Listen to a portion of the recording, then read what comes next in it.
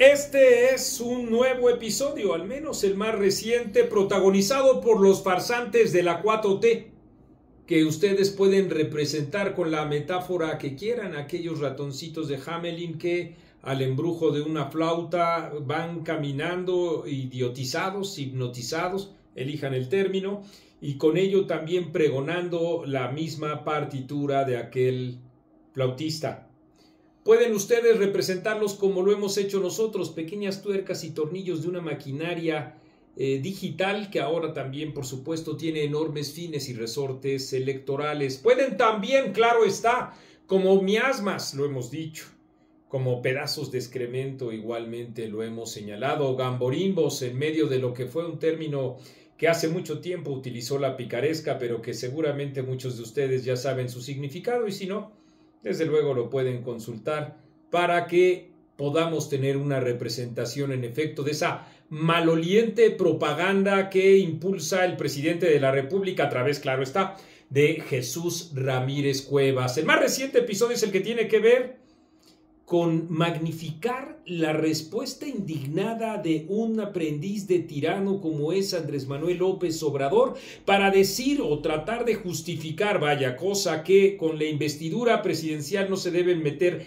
nadie y entonces el que se ríe se lleva y el que se lleva se aguanta y lanza los datos personales de Natalia Kitroff Así, eso es lo que hizo al colocar su número telefónico y contestar el día de hoy a una reportera de Univisión que justamente eso es lo que a él le permite hacerlo, el respeto a la investidura y también el hecho de que políticamente él es o tiene autoridad moral para hacerlo por encima de la ley. Ese es el contexto. Y enseguida personajes, ustedes ya tienen la representación metafórica que consideren vergonzosos nos quedamos nosotros en estos momentos con el término para decir callo de hacha. Callo de hacha le llama a Natalie vieja ridícula. Le dice que en todo caso, igualito que como hizo el presidente de la República, cambie su número telefónico. Si nosotros fuéramos como este miserable, en estos momentos por supuesto que yo estaría, porque con él he tenido varias comunicaciones, ofreciendo su número telefónico. Pero no somos iguales. Por supuesto que no somos iguales y el entendido de no rebasar los parámetros éticos y morales para hacerlos es justamente lo que distancia a personajes sin escrúpulos como él de personajes como nosotros que defendemos siempre la vida privada de los personajes públicos. Pero hete aquí que todos estos farsantes, todos,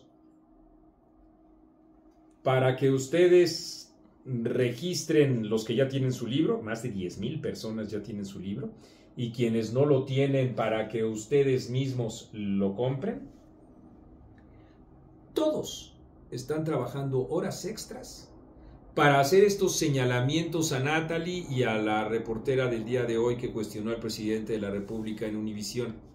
Todos, reitero, para puntualizar en algunos que tienen que ver, por ejemplo, con Álvaro Delgado, o que tienen que ver con ese pedazo de excremento, ya lo decíamos nosotros, Ricardo Sevilla, que está también minusvalorando el acto probioso y autoritario del propio presidente de la República para más bien sumarse a fustigar y agredir, claro está, a Natalie. Pero además, utilizando los recursos del Estado es decir, los medios públicos de radiodifusión mexicanos que encabeza de manera ilegal Genaro Villamil, haya arremetido también contra The New York Times, contra la reportera. En estos momentos que estoy grabando el video, eh, Latinus ha señalado que incluso es un acoso y tiene razón, por supuesto, los editores de ese portal, porque en efecto, utilizando recursos públicos y defenestrando a una colega que estaba haciendo su trabajo sin ni siquiera afirmaba. Como dijo Jessica Cermeño el día de hoy, la reportera de Univisión, a el presidente de la República. ¿Y la ley? ¿Qué hacemos con la ley? ¿La rebasamos? Pues Genaro Villamil la rebasó también. Primero en el cargo, como ya he dicho. Segundo, utilizando los recursos del erario, como también he comentado.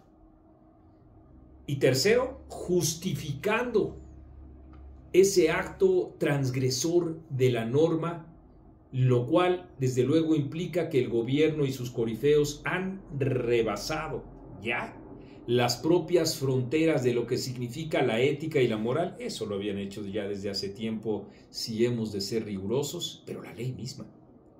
La ley misma es lo que están haciendo en estos momentos. Y bueno, ¿qué decir del chapucero? ¿O qué decir de Sabina Berman? Que igualmente se suma a los ataques en contra de los medios de comunicación por el simple hecho de informar o de preguntar. Y así nos podemos ir con el impresentable, porque eso es Vicente Serrano, que ayer y antier estaba llorando lágrimas de cocodrilo porque se han asignado en estos estropicios y lodazales en los que se mueve y remueve Morena a distintos candidatos plurinominales al Senado y a las diputaciones y él mismo como planteando, bueno, ¿y yo qué? Si he besado tantos pies, si he besado tantos pisos, enojado por Sergio Meyer, enojado por todos lo que ustedes consideren que pueda él enojarse, porque no le tocaba, por supuesto, a él esa posibilidad y cómo le puede tocar si no sabe ni siquiera hilvanar un solo argumento. El caso, el caso es que él mismo personaje está justificando lo que hizo el presidente de la República con Kitroev. Así, él lo está justificando diciendo es que, pues muy sencillo, si no quiere que se difundan los números telefónicos, pues simple y sencillamente no mientan. Primero, no mintió la reportera. Preguntó. Y aunque hubiera mentido, eso no le da ningún derecho ni a él ni a nadie, ni al presidente ni a nadie, porque el presidente no puede ni debe estar por encima de la ley, nadie, ni él.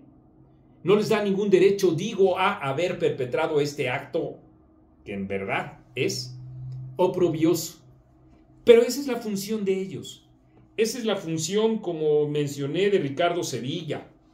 La función, como he dicho también, de Cayo de Hacha. Aquí en este segundo tomo está este personaje que por besarle los pies a el eh, presidente de la República, Enrique Peña Nieto, obtuvo 45 millones de pesos. Imagínense ustedes que yo les diera ahorita el número telefónico de él para que les explicara a ustedes cómo es que recibió tanta cantidad de dinero y qué ha hecho con ese dinero. No, no hay que rebasar. No debemos rebasar en modo alguno, y sé que me está viendo Cayo de H. No debemos rebasar en modo alguno este tipo de transgresiones que además retratan y con mucho la propia miseria humana. Así es que por eso es importante detallar permanentemente lo que hacen los farsantes de la 4T para los efectos de exhibirlos como eso, como distorsionadores de la información, eh, como difamadores. Y bueno, ahí en esa posibilidad está también la de los usuarios al difundir todas estas trapacerías de los farsantes de la 4T el equilibrar e imponer a final de cuentas la información, porque estoy completamente seguro de que en los trayectos que nos quedan cotidianos, el periodismo se sabrá imponer día con día. Y para ello requerimos desde luego ciudadanos que, como ustedes, críticos, difundan la información exhiban, por supuesto, a estos farsantes, adquieran su libro quienes no lo hayan adquirido, uh, compártanlo incluso también. Nosotros queremos que se expanda lo más posible. Saben que tenemos, desde luego, necesidades financieras, proyectos periodísticos como estos lo necesitan y al mismo tiempo, claro, los invitamos a que hagan los aportes que aquí abajo les estamos señalando y que no se les olvide, claro que sí, que no se les olvide comprar su libro, el libro escrito por Orquídea Fong, la biografía política de Claudia Sheinbaum, esa gran farsante que es, que está ya en circulación y que ustedes conocen muy bien, pero de veras muy bien los mecanismos para poder adquirirlos. Amazon, Mercado Libre, WhatsApp, aquí abajo en mi cuenta, su depósito y en WhatsApp lo pueden, lo pueden ustedes adquirir. Ya, está circulando. El libro se está a punto de caer. Eh, Lalo Atempa, que se encuentra atrás de cámaras y que con su sonrisa característica les manda saludos, a ver si le dura toda la sonrisa después de que juegue Chivas contra Pumas. Pero bueno, así está. Les agradecemos. Yo soy Marco Levario Turcot y esto es Etcétera.